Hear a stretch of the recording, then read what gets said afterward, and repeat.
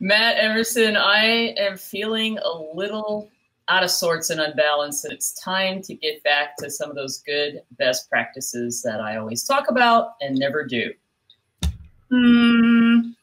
Exactly. And today on Wandering Zen, we're going to pack up the station wagon. We're going on a little road trip across the United States where you could in the past and still can today sleep in a teepee. Okay. Welcome to Wandering But Not Lost, your online source for finding balance so that you can align, connect, and prosper. I'm living right here and now, and I don't want to miss out. Is this what life's all about? The world is calling, and I'm listening. Yeah, I'm listening. And now, your hosts, Jan O'Brien and Matt Emerson. You've reached the Wandering But Not Lost podcast where real estate and reality meet. It's episode 108. You can find all of our show notes over at WBNLpodcast.com. Jan O'Brien, it was great to see you yesterday. Uh, we had a little staff meeting in Las Vegas, so Jan and I got to have a little face to face time, which was exciting. We, we had a really productive day. It was a, it was a good day in Vegas.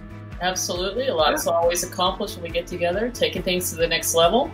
So, what are we yeah. talking about today? Well, I want to talk a little bit. You know, what happened is I went back and revisited something I wrote uh, and recorded for the Wanderers Club back in 2017. And I actually watched this video and I'm like, hmm, there's actually some good stuff in here that I have maybe not forgotten, but definitely have not been practicing. And so I thought it is quite a bit of material. So we're going to break it up over the next two podcasts. So I'm going to call this Practices and Tools for Well-Being. Today is part one, and next week it'll be part two. Which That's is probably very good timing on that because I think we're all getting whipped into a frenzy over pandemics and other things going on now. So, so we're going to take a breath, calm down a little, and take a look at some things to share with you. To maybe you'll find one or two that work for you, and that's what I'm going to cover today. And then you're going to go over something with uh, wigwams. Can dive in a little bit there. What do you yeah. tell listeners what, what you're going to learn about wigwam villages? I, I, mean, I don't know. This is a pretty classic site if you ever uh, traveled Route 66 uh, uh over the days. There, uh, you know, there's all sorts of kitschy kind of roadside attractions along that route and uh, along many across the United States. A lot of them have been torn down at this point. But there is a uh, a motel on Route 66. Actually, there's two on Route, Route 66 that um, uh, where you can sleep in a teepee, and they're called the Wigwam Villages.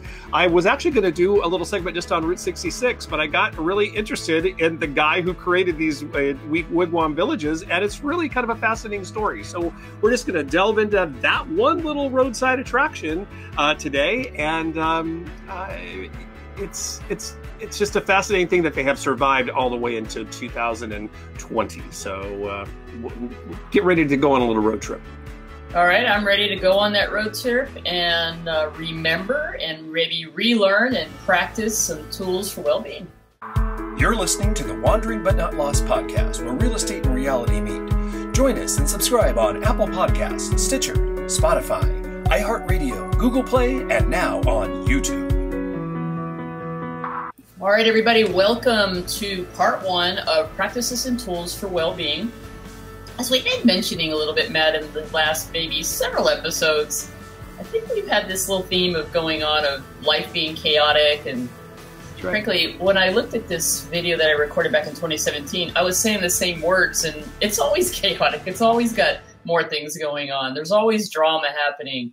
There's we're being bombarded right all the time from. I frankly blame everything on technology and right. the phone. Every we don't go anywhere without our phones. I mean, think about it for a second. I was teaching a class the other day, a continuing education class, and I said to everybody, "Who in here has been practicing real estate for 15 years or longer and, and remembers actually about 20 years ago and remember and you do you'll remember this sure remember how we used to practice before there was the internet and how much slower things were so we used to do real estate when i first got my license we had a book. We had an MLS book that was published every two weeks, and that's where the listings were. Right. There, it wasn't at everybody's fingertips. The consumers. No, because there was no internet. There was. it was brand new. And I remember a year or two into my first years in the business, I had a little thing called a digital pager. So a digital pager, which you know, like doctors would wear those, and you'd like, wow, I'm wearing a pager. And if somebody needed to get a hold of you, they would page you. Then you'd have to go find a real phone somewhere, and uh, you know, stop driving and wait till you get to your destination, and then pick up the landline and make a call to a client or whoever was paging you. Now, fast forward to where we are now, and that's what I think is causing people so much stress. And I've been reading some things about how we're the most medicated society ever. Uh, and then it's because of people's mental health and well-being is is you know and people are striving to try to find things that are not having to maybe take some meds for it but and that's what i want to kind of cover talk about and these are all things you've either heard of done you know so how do we what do what can we do so i am going to start with my first and foremost frankly done a couple podcasts on this and it's the number one thing that Jan O'Brien is back focused on doing. I just talked about it a couple of podcasts or two ago, and it's design and fall a daily ritual. Mm-hmm. So I will not belabor that. We certainly have talked about it, but in a in a bottom line scenario here is to get up in the morning and take anywhere from five to ten minutes to an hour to follow something that's good for you and your soul, and not jump right into your day to day hecticness of of uh, checking your emails and starting to do work chores and so on. So whether that's a morning meditation or prayer, just going for a walk, doing an exercise routine, going to the gym, uh, going through some other practices. Uh, I've mentioned the Miracle Morning by Hal Elrod. Uh, that's the one that is, when I follow that on a routine basis, it really helps me start the day right. The next one, and I'm going to figure out a day here soon that I'm going to do this, and it's called Take a Digital Detox. Mm-hmm. So the digital detox is where you find a spot of time, and maybe you just maybe it's going to be difficult. Actually, you said this to me yesterday. Did you say I've been without my phone for? What did you say? Actually, it was a yeah, period of time. Yeah. We actually had to go back and get your phone. That's exactly right because I had plugged my I didn't want my phone to go, you know, the battery to go down, so I plugged it in in the room and then all day long we were in meetings and talking and doing things and then we did. You were taking me to the airport. We had to go back to the, the office because I was detached. I wasn't looking at my phone every 2 seconds because it wasn't near me. It was it was interesting actually. Yeah, and, so and I didn't miss it. Well, you did a bit of a digital detox and so taking it a little bit more intentional, the idea is to unplug from all your digital devices, your iPads, your computer, your phone, whether that's just for a couple hours or taking a whole day or a weekend, and you you just figure out that you're going to make that work and but but but try it because as soon as you start doing that maybe you have to go in small doses, yeah, like yeah, just two hours. Yeah. Then you try a whole day because I I've tried this and it's it's like uh, you have this habit and you're like I got to go see what's happening. I got to go check Twitter. It's social media too. It's not just checking your messages. It's mainly social media. And what about this? What if you just took a, a 30 day? I'm not even going to post or look on social media. You know, maybe you're still using your phone to communicate with people. But anyway, these are some of the ideas, and then you can get into a practice of maybe there's uh, a time a week that you unplug, that you just get used to this, and that's maybe where you can focus on things that you're going to do for yourself. Do right? you have Do you have the screen time uh, notifications uh-huh. on your phone? Do you find yes. it fascinating when you get it every week? Yes, yes. Um, when I go to Florida to visit my mother, it's really interesting. You would think because I'm down there, I would have more time just to hang on the phone.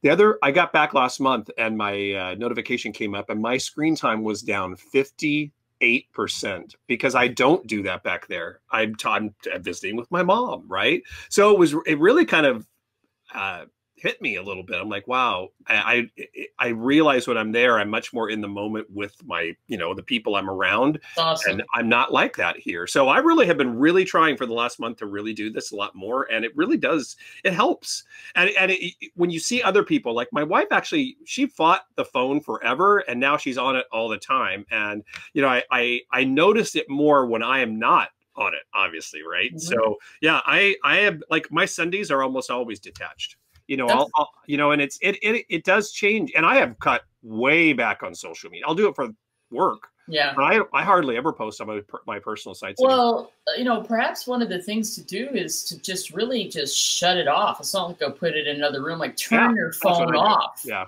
And then turn it back on at the end of the day. It's not like it's the you know why a lot of people are I think afraid to do this, and maybe you don't. You have a, a landline. I don't but it's it's that fear of what if something happens and someone can't get a hold of me right. that I think is always in the back of my mind. Sure. Uh, you know, so there's that. So, but there's ways to make that work. And here's one other on this.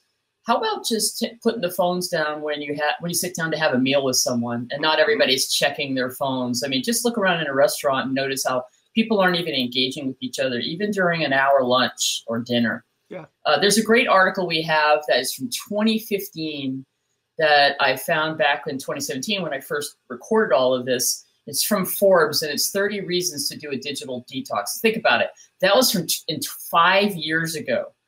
We were talking about how stressed out everybody is, and here we are five years later, and I think it's actually worse. Uh, next one, number three, is get more sleep. Oh my gosh, I swear. Get more sleep. We were just talking about this, right? And if you haven't read Thrive by Arianna Huffington, and then she's got another book, and honestly, she wrote a whole book just on how- why getting more sleep is so impactful for your overall well being. Just this one thing alone uh, can really change your life if you just get enough sleep. And a lot of adults will say, like me, I only need four to five hours of sleep. I don't sleep well through the through the whole night. I'm I've always been a light sleeper. Or what kind of a sleeper are you? Oh Right. no, I can sleep. I can sleep well and anywhere. Literally. Okay, well that was brilliant because. And what would you say is the right amount of sleep for you? Uh, you know, I, I feel very, very rested if I get about seven hours sleep. Seven hours of sleep. Yeah. You can you can actually see you're right in the perfect word. Like right. I to don't eight do hours. it. I, to be fair, I don't don't? do it that often. No, No? because there's other stuff going on, right? And there's a lot on my mind and all of this. So I have that same, you know, bit of stress, you know, that everyone else experiences. But if I can get seven hours of sleep, that's perfect for me. I don't need eight. I don't need nine. well, know, you know what? seven good. People, I think everyone feels that you don't need some. There's many people that feel they don't need a lot of sleep, but all the studies, all the medical experts are saying that is the time your body is recovering and. And, and get, it's so vital to us and having those levels of sleep and man i swear to goodness i okay so then i read and what i'm about to tell you and i'm like well this is why i don't have i do i do the opposite of everything that's on this list so here's the best practices for uh, getting into yourself the- up Yeah. getting yourself into a, a place where you're having um really solid sleep, six to eight hours. It varies based on who you are and all that. Kids and younger people generally need more. I definitely can see that with the, my little Charlie that's six and a half. That kid can sleep for 10 hours Mhm. uninterrupted. I'm like, oh, and I'll be checking on him like, are you, you know, when he's staying with me, okay, he's still, he's still asleep. And I'm like, wow, I wish I could sleep for seven or eight hours, let alone 10 hours. All right. So here's the, here is the deal. First of all, set a bedtime routine. It's about going to bed at the same time every night if you can, so that you can have a routine where you're getting the same amount of sleep each night. Practice a relaxing ritual. So for some people, it may be a warm bath or using aromatherapy or listening to music or meditating. Uh, I like listening to when I do work on this, but this is going to have to take a lot of practice for me as I continue on with these things because check, not doing that.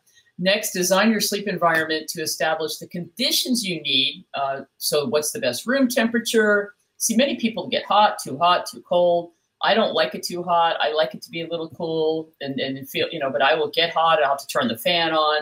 This is all stuff that interrupts your sleep. So, your bedroom has to be free from any noises and light. Uh, I used to have blackout curtains. I like it to be dark. So, that's, uh, that's what we mean by environment. Avoid eating, talking on the phone, or watching TV in bed hmm, don't do that one. Uh, try not to lie in bed worrying about things. That's my problem. Uh huh. So, And I you get up. Mm-hmm.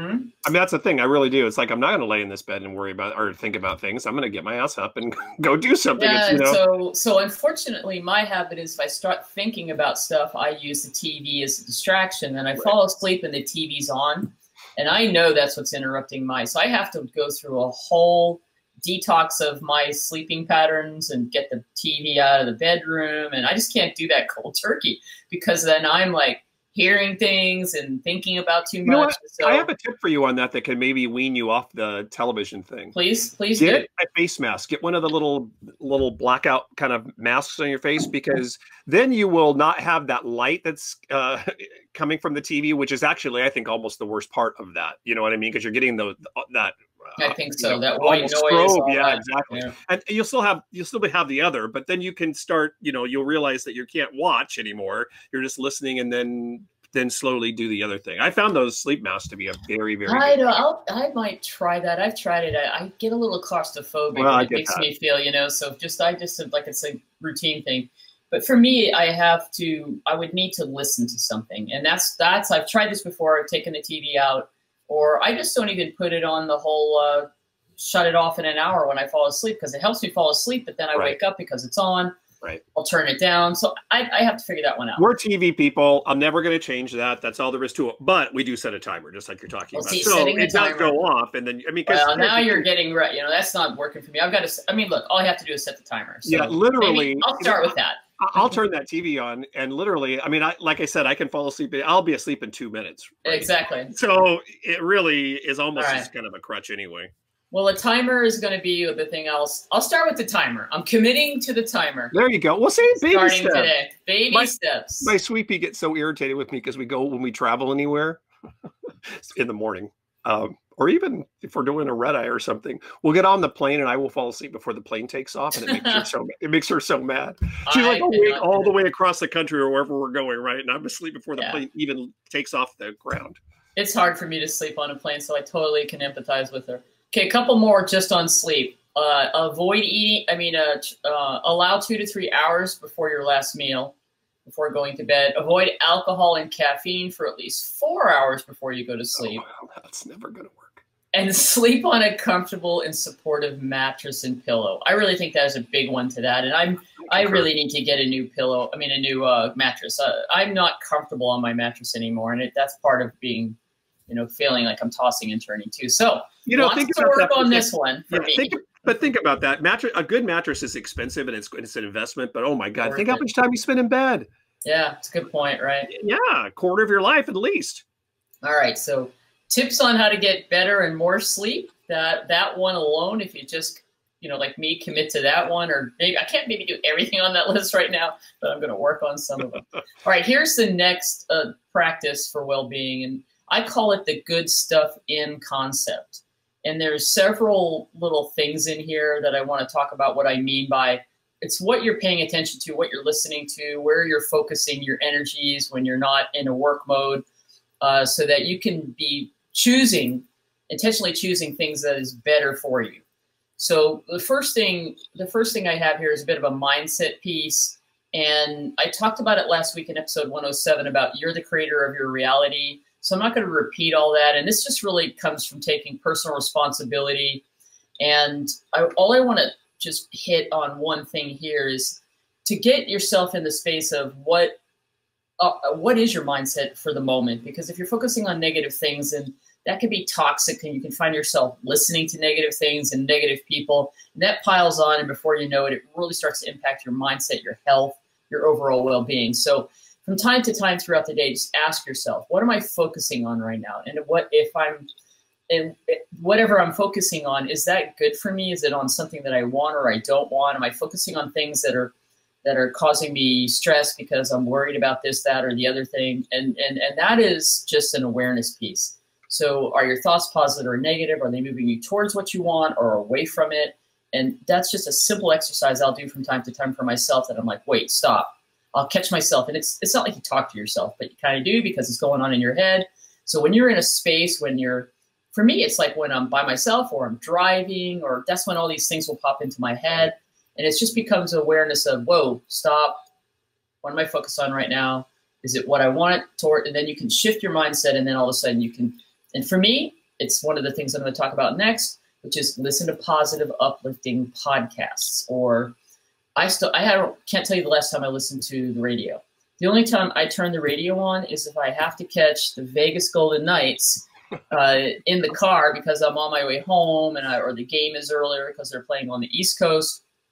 It's the only time I turn the radio on because I don't want to listen to all the ads and the program that's on radio. And plus, there's a million podcasts out there uh, besides ours. Um, I, I listen to our podcast, don't you? I like to go back and listen to our podcast from time to time or just listen to how it turned out.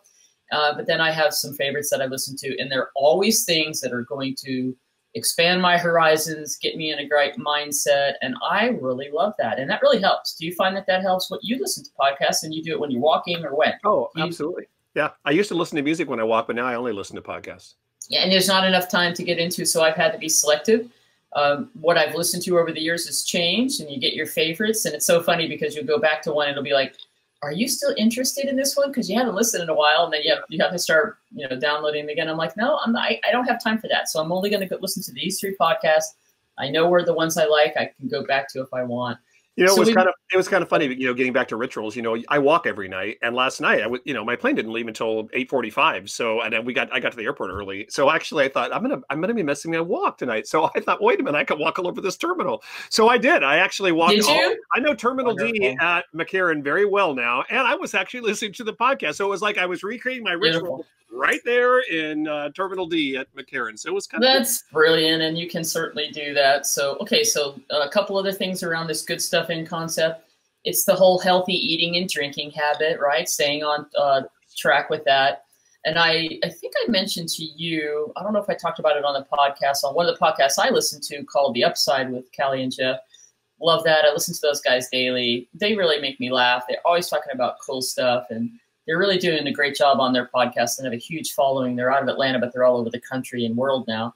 And they were, uh, Callie was talking about uh, interviewing a lady who is a therapist for eating disorders and disordered eating. Anyway, there was some book that I've got to look into because it really resonated with me called Intuitive Eating. I really have been a firm believer over the years that diets really don't work. I mean, diets work for a minute. People, Right. whatever the, the latest fad is, and you know, and so I'm just anti diets. I'm more exactly what they were talking about. To follow you know what you need to be doing. We all know what we should be avoiding. We all know what our body types are. We know which kind of foods aren't are good for us. So this whole concept of trusting your instincts and your intuition over yeah no that I, that doesn't feel good for me or this is better for me to eat. And then it's simple concepts like stop eating when you're full. Drink lots of water right you know and when you think about american society you've traveled you've been in europe isn't it amazing the the what a a serving in a restaurant looks like for America, American restaurants versus when you go anywhere else in the world. We overeat in this country. And you I mean we have buffets, we it's horrible out here. Buffet people, you know, people are just piling stuff on their plate. They're not really overeating at all, or they're overeating because they feel like they have to.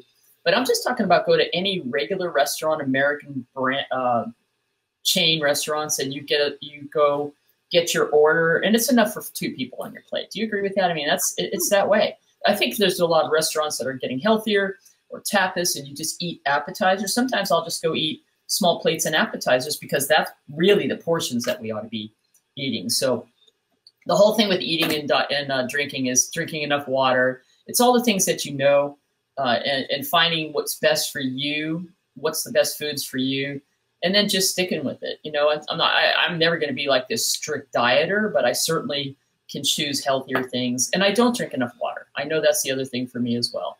The, pretty much everything that I've talked about today, I mess, need girl. to get back to doing.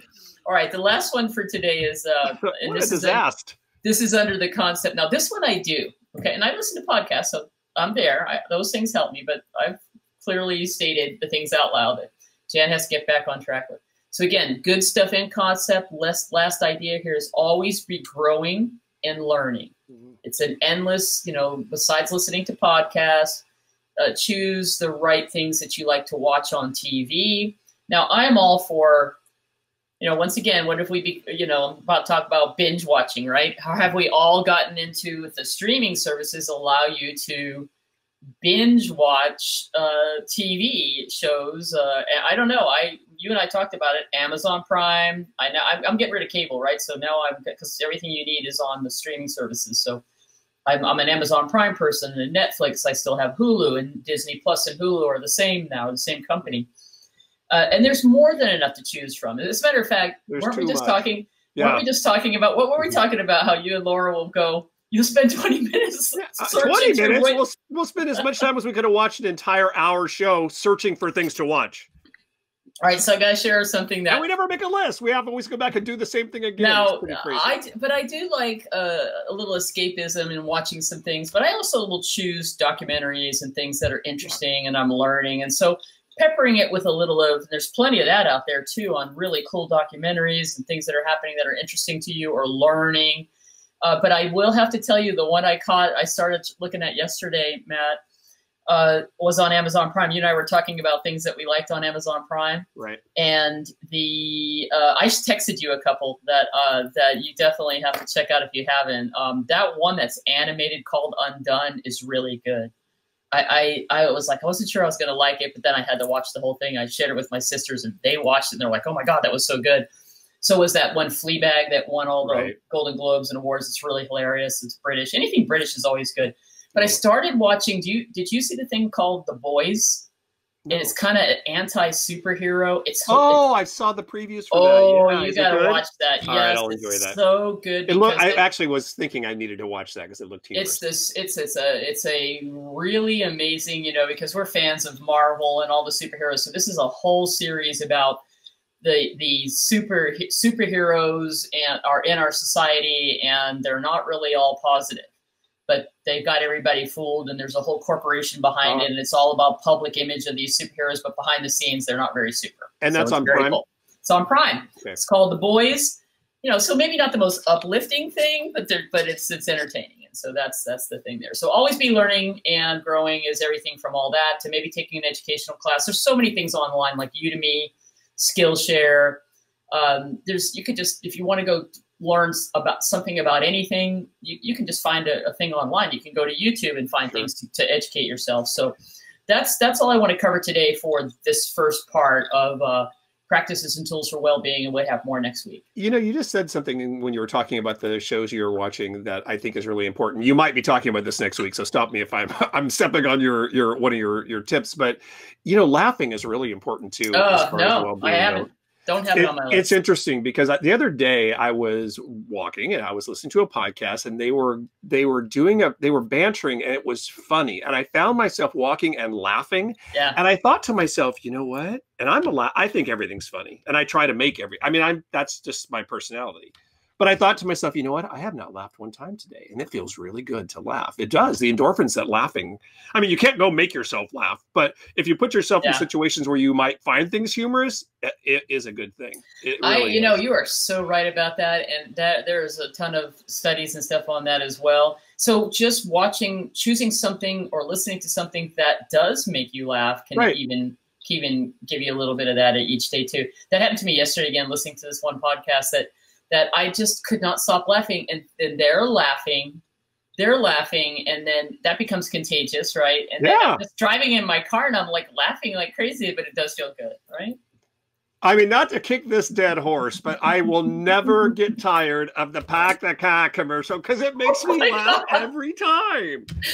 you know, the park the car. So I Oh. actually said that yesterday when I was getting in my car, and I was like, I was mad at my car for for a minute, and I was like, you know, something about this this damn car, you know, whatever. It was like something was happening. I couldn't open the car, and I was like saying, I was using some of that same stuff. It was me. And, and I'm telling you that that commercial clearly is very, very popular. You know, we when we were driving to the airport, you were we were because you can't see, you would ask which way was to Depatches. And the Depatches are over here in that lane, so we went to Depatches, right?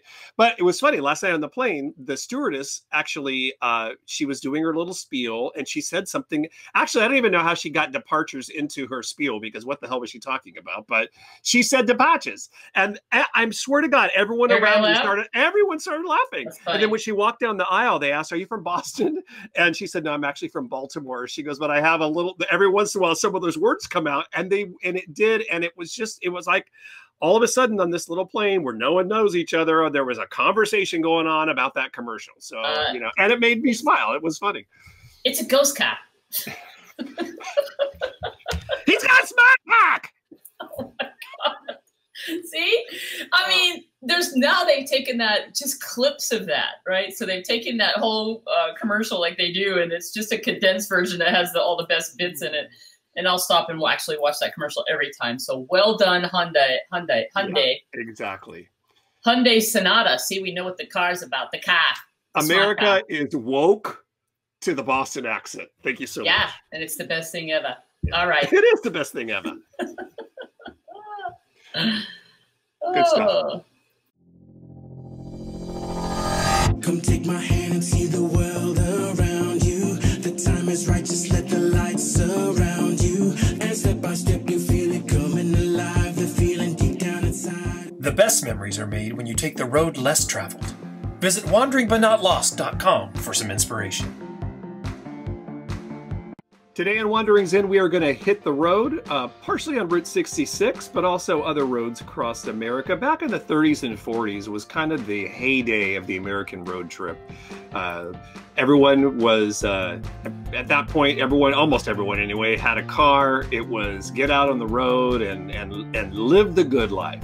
And along the, the, the roads, of course, people were looking for opportunities and uh, uh, ways that they could uh, make a buck on the people that were crossing the country. And a lot of roadside attractions popped up, uh, you know, kind of during that that time uh, in America. And uh, one in particular has really become kind of iconic in, in a lot of ways, and that is the Teepee Motel. Uh, they're actually called the Wigwam Hotels. There's one in Arizona, which I think there's still a, uh, a a motel that you can actually stay at uh, now. Uh, and if if you haven't, because Jan, we were talking about this, you you actually hadn't seen that before, no. it, or it didn't sound familiar to you, right? Mm-mm. This might sound familiar to you because it, it is paid homage to a lot in in movies and stuff. If you think about Disney's California Adventure, Cars Land, yeah. the the Cozy Cone Motel. Yeah that is actually patterned after the wigwam hotel, right? So instead of wigwams oh. and teepees, it's cones. So that is a uh, little homage to the uh, to the the wigwam motels. But the wigwam motels actually started not on Route 66. They started uh, and were created by a man named Frank Redford, and he grew up back in Kentucky. and I found this to be the most interesting part because it seems like I I gravitate towards and are attracted to things around national parks. And there is a connection between the Wigwam Motels and um, national uh, the Mammoth Cave National Park in Kentucky. Uh, Mammoth Cave uh, became a national park back in the mid 20s, I believe, or, or, early 30s when it actually opened to the public, but it was classified earlier. Uh, and it's one of the largest cave systems in the world, actually, that is known, uh, and and uh, tourists can go there. I haven't been to Mammoth Cave, but I always love to get back there. Anyway, he grew up not more than maybe 12, 15 miles from Mammoth, uh, Mammoth Mammoth Cave, and it was becoming more of a tourist destination, and more people were coming down there. So he got in his head that he he always had a, an appreciation and a respect for the Native Americans. Had a lot of of, of uh, of uh, memorabilia and things he collected from uh, Native Americans. And he thought, you know what? I'm going to build a lunchroom uh, that's on the road that goes to Mammoth Cave, and I'm going to have visitors stop in, and I'm going to, you know, I'm going to capitalize on the tourist crowd that's coming through Kentucky. So he built a teepee-shaped uh, lunchroom was pretty small. It wasn't a huge, huge thing, but he would serve food in there, you know, breakfast and lunch, you know, dinner and his things. Then he had, and and as it became more popular, he started kind of adding on to that. He had a gas station, a little wigwam gas station, uh, or teepee gas station. It's kind of funny.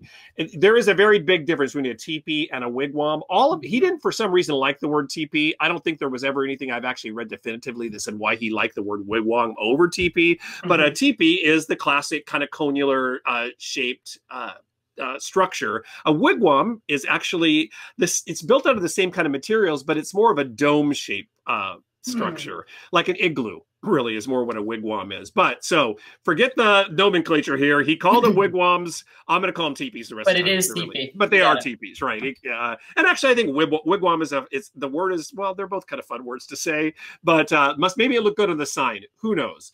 But uh, so we had a gas station there. So it was a lunchroom at a gas station. He built two little wigwam bathrooms or teepee bathrooms there next to the gas station, and one was for the squaws and one one was for the braves.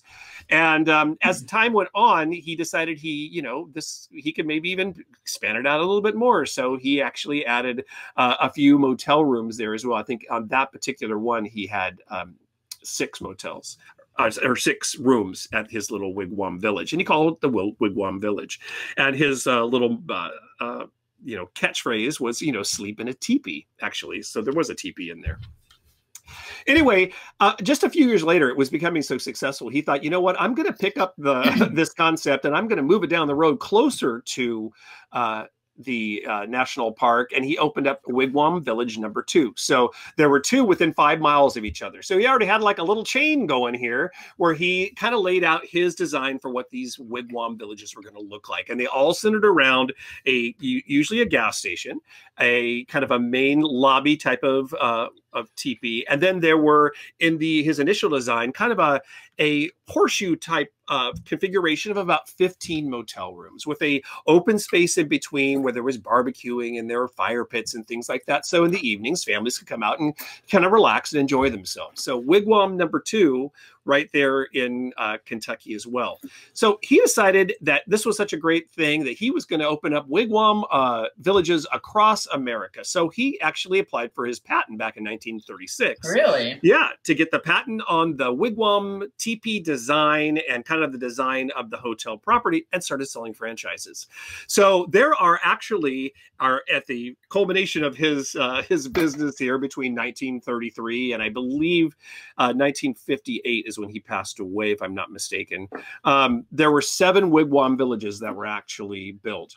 He built the first two there in Kentucky. He built actually wigwam village number seven, which we'll talk about for a minute, but or in a minute. But the other um, four wigwams actually were franchises. The uh, the largest wigwam village was actually in Orlando, uh, Orlando, Florida, well before Disney World and all the theme parks started happening down there. But uh, a person got the franchise, opened a wigwam uh, with 27 teepee uh, motel rooms down there, all just really, really popular. Because if you're driving by, especially if you have kids, right, sure. uh, and looking for a place to stay, they were super kitschy, super. Oh my gosh, I got to go check out and see what that's you know see what that's all about. There's only three that are still. Um, uh, uh open or you can go to today. Yeah. The Wigwam Village number two the second one that he built there near Mammoth Cave is still open, uh, that he actually built. Uh, Wigwam number six, the one there in uh, in Arizona, is still open for business. And then there's one out here in San Bernardino, and that's how I stumbled on this. My my uh, Sweet Pea and I were out kind of traveling Route 66 in Southern California, and we were driving by, and I had heard that there was there there was a Wigwam Village here in California, but I thought it was closed. And we we we pulled up to it. There's pictures in the show notes over at wbnlpodcast.com. Uh, it is awesome. I mean, it's not in the best area right now, so I don't know if I'd want to actually stay there, quite frankly. But they have renovated that place. The week there was one open, they were actually cleaning one, super clean inside. They're what just, is it? What is it? I, am dying to ask you. What does it look like inside? Is it like a beds or yeah? It's re- it's really cool. I mean, so is it a room? Is it yeah. how many people can sleep in one? Yeah, they have. They have like I think there are two or three different size teepees and different uh, you know accommodations inside. Everyone's got a little little restroom so it's got a little shower. I mean little because you know the shape of these things right? And they're not huge. You'll see if you go to the show notes but super cool. Little bathroom little shower and uh, uh, toilet in there. And then there are some that have just a twin bed and a uh, couch area and a little table. Wow. Uh, there's one that has two beds in it. Not the way the Native Americans live now. Uh, okay. None of this was the way the Native Americans did it. Absolutely not. As a matter right, so, of fact, so you're basically describing put a motel room in a teepee. Yeah, it really basic. It basically was that. Right. You know, okay. this one I, I, I have to say this one in San Bernardino. If you're ever out in Southern California and you have a car and you feel like seeing something unique, it is really cool to go see that. It was it, uh, and the the guy at the front desk. Um, uh, I don't know if he was a family member or not. Might have been. Uh, uh, you, you know was giving us history about that and about their renovation and you know how it really kind of gone into disrepair. And they they came in bought it and had really uh, uh, you know gave it a complete overhaul. And i'm going to tell you it really looks it's nice. I mean, it really is. Like I said, if it wasn't for where it's located, I would be staying there in a minute. You know, it's it's just a very cool thing. And I'm not saying experience, and I'm not trying to say don't you know that it's like you know in some crime-ridden area. It's just out. It's just really not a place. I guess the point is you're not going to stay there and go to Disneyland, or you're not going to stay there built, and go to the beach. Yeah, when it was when first, it was first built, it was out in the middle of probably what orange, orange groves. Or, yeah. yeah, and there were some pictures of that that he had in the lobby that was just you know so cool cool to to see that. So Frank uh, Redford, you know, he he kind of had his American dream come to fruition, right? He didn't start a huge chain like his you know his original intent was, but he did have people that would buy his franchises. They, for the most part, because it was an open franchise, so you know they could you know use the name and do all that kind of stuff, just pay him a royalty, which is what a franchise is. But they most of them even stuck to his original design, except that one in Florida where they built more teepees. Most of them stuck to that 15 uh, teepee design and kind of the horseshoe shape, and and uh, so you know he had a little dream, you know, that came to fr- uh, to fruition. He actually he built the one out there in San Bernardino. That's Wigwam, or uh, yeah, well, it's on the the border of San Bernardino and Rialto on Route 66. He built that that one himself, Wigwam Village number seven. He actually built a larger wigwam behind kind of the lobby area there, and uh, it made it an apartment. And actually, he lived there at that particular wigwam village Hmm. until he passed away. So uh, you know, he, he was he was committed and loved what he had done. I, it was hard to find a lot of information about really his total backstory. You know, I, always you take a step back in situations like this because you know this is one of those things where I, and I always think it's good to reflect and do a little more research, right? You know, was he capitalizing and taking advantage of the Native Americans? Is what I, you know, the first thing I started thinking about because I'm, I'm not going to go out and promote and talk about someone who, you know, was his intentions were not really good, right? But the more that I, the things I could find out about him were actually very positive. So he wasn't making fun. It wasn't a situation where he was, uh, you know, uh, showing disrespect. He did have a lot of Native American artifacts. He uh, actually employed a lot of Native American uh, people earlier on to actually, you know, help with the the construction and also work in the places. Now, you know, once again, was he just you know trotting out the Native Americans to get people in? I, I don't know, but you know, no matter what we, you know, you know, our society has changed a lot over the years about how we look at things. But these are just classic uh, structures of the time. And like I said, you know, they have been oh in countless movies and e- even in theme parks now. So Right. if you have a chance to check out either the one in uh, in Arizona, check that out. Check out the one in San Bernardino. It's worth the extra little drive off the interstate to go check out the uh, one of uh, Frank Redford's wigwam villages. You're listening to the Wandering But Not Lost podcast, where real estate and reality meet. Join us and subscribe on Apple Podcasts, Stitcher, Spotify, iHeartRadio, Google Play, and now on YouTube.